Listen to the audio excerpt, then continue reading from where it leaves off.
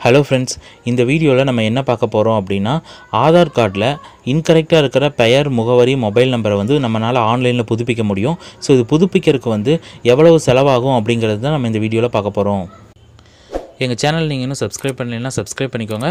வாங்க வீடியோக்குள்ளே போகலாம். ஆதார் கார்டு. ஸோ இது எவ்வளோ முக்கியமான டாக்குமெண்ட் அப்படின்னு நமக்கு எல்லாருக்குமே தெரியும்.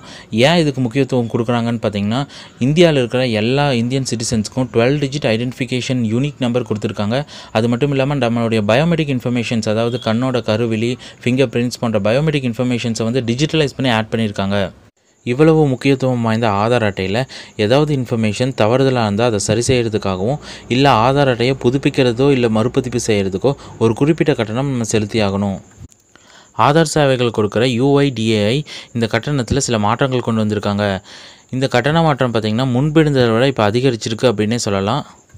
யூஐடிஏஐயோட இந்த புதிய அப்டேட் படி இனி ஆதார் கார்டில் நம்மளுடைய பெயர் முகவரி மொபைல் நம்பர் அல்லது பயோமெட்ரிக் இன்ஃபர்மேஷனை மாற்றவோ இல்லை புதுப்பிக்கவோ புதிய கட்டணங்களே வசூலிக்கப்படும் அப்படின்னு சொல்கிறாங்க ஸோ இப்போது அதிகரித்த கட்டணத்தின்படி ஒரு தனிநபர் ஆதார் அட்டையில் பெயர் முகவரி பாலினம் இமெயில் ஐடி மொபைல் நம்பர். இதில் ஏதோ ஒரு இன்ஃபர்மேஷன் புதுப்பிக்க வேணும் அப்படின்னா ஐம்பது ரூபாய் செலுத்த வேண்டும் அப்படின்னு சொல்கிறாங்க இதுக்கு முன்னாடி இந்த சேவைகளுக்கு இருபத்தஞ்சு ரூபாய் செலுத்த வேண்டி இருந்துச்சு அதே சமயத்தில் நம்மளுடைய ஆதார் கார்டில் இருக்கிற ஃபோட்டோ அப்டேட் பண்ணணும் அப்படின்னு நீங்கள் நினச்சிங்கனாலோ இல்லை வந்து பயோமெட்ரிக் இன்ஃபர்மேஷன்ஸ் அதாவது கருவிழி ஃபிங்கர் பிரிண்ட்ஸ் எல்லாமே நம்ம அப்டேட் பண்ணணும் அப்படின்னு நினச்சாலோ ஐம்பது ரூபாய் செலுத்த வேண்டியிருக்கும். இந்த ஐம்பது ரூபாயில் அனைத்து விதமான வரிகளும் சேர்க்கப்பட்டுள்ளன அப்படின்னு சொல்கிறாங்க அடுத்து ஆதார் கார்டு ரீஇஷ்யூ பண்ணுறதுக்கு அதாவது மறுபதிப்பு பண்ணுறதுக்கு ஐம்பது ரூபாய் செலவாகும் அப்படின்னு சொல்லியிருக்காங்க.